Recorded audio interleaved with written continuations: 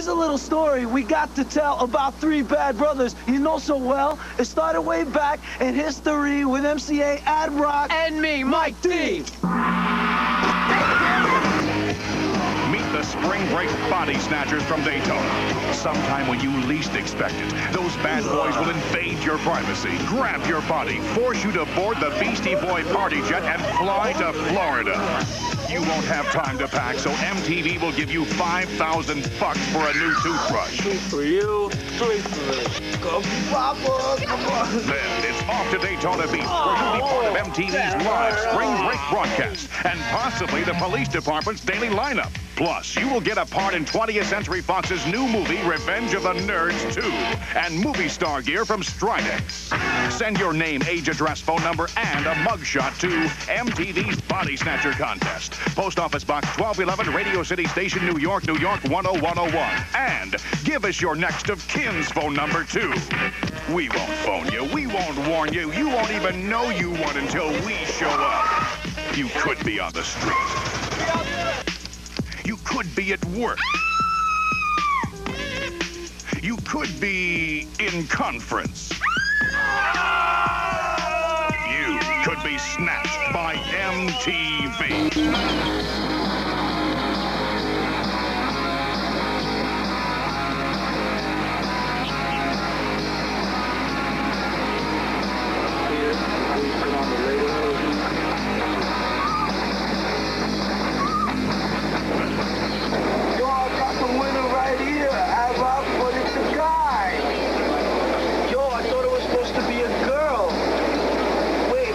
That dude,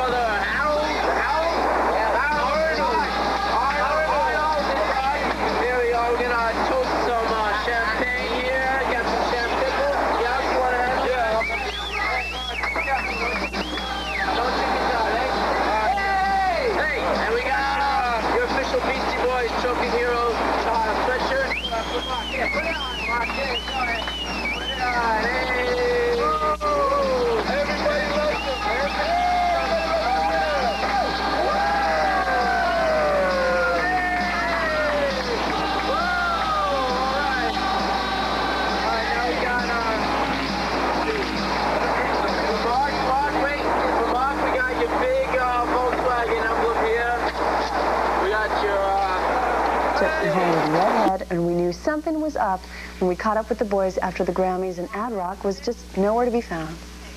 Well, it's funny you should mention Ad Rock because he isn't here this evening. And why is he not here this evening? Uh, the reasoning is very special. Very. He's with Molly Ringwald.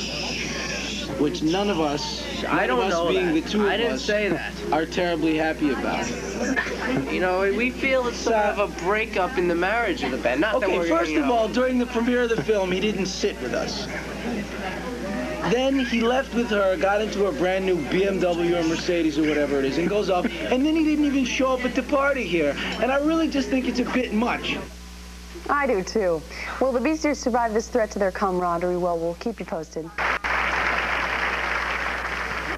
And now the nominees for the Best Rock Vocal Performance, male.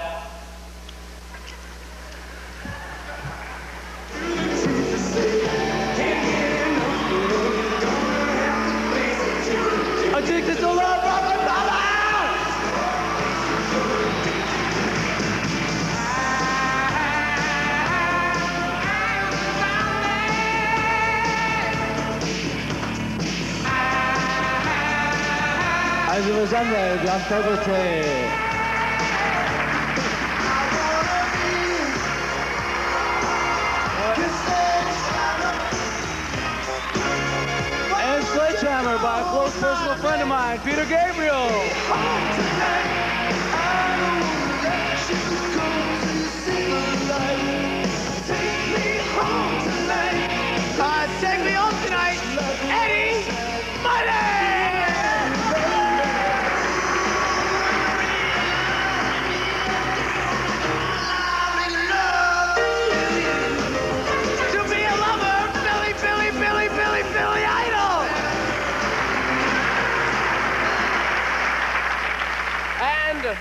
Uh, the, the Grammy goes to is kind of wrinkled up and stuff. Oh, wait. Addicted to love, Robert Palmer!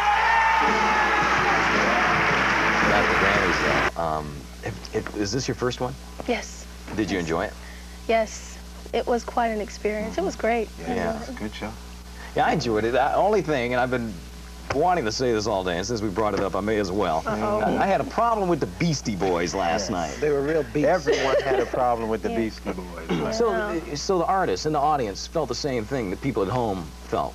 I mean, it, it, it I was just kind of so. disgusting from, to from watch. the vibes of the audience, they thought that at first, you know, when the guys came out, that was a maybe it was just a little joke, you Mm-hmm. know, which would have been fine. But then it continued on through the entire segment. yeah. Got pretty quiet in there, pretty fast. Yeah, it was Well, quiet. you get the sense that, uh, for those of you watching who don't really know what happened, uh, the Beastie Boys got on as presenters last night, and uh, after one of them uh, grabbing his genitals and cussing uh, on the show, uh, they presented um, Robert Palmer. Robert was it Robert Palmer? Robert Palmer. Uh, with, an, with an award, and he was very hesitant to go on Yeah, he stage was. uh, with them. Uh, I thought it was just disgusting. I, I was also offended because obviously what they do is a black music form. It's rap. Right. Right. And, you know, I felt like, well, if you're going to get someone to represent rap, then put Run DMC Yeah. up there or someone like that. Mm-hmm. It's just, Yeah. I don't think that, I know that Run and the guys would not have embarrassed No way. a rap Yeah. artist like they did last night. Right. Uh, the, and the rap artists get they're they're under so much scrutiny as it is, Yeah.